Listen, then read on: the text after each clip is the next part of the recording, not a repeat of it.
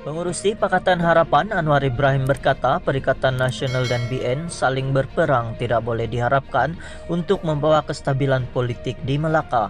Bercakap pada ceramah secara maya untuk pilihan raya negeri PRN Melaka malam tadi, Anwar berkata pengundi harus mempertimbangkan sinario jika BN atau PN menang. Mereka ada perang sekarang ini, peperangan sengit di antara PN dan BN bercakap soal persatuan dan perpaduan tetapi bertempur di bawah katanya.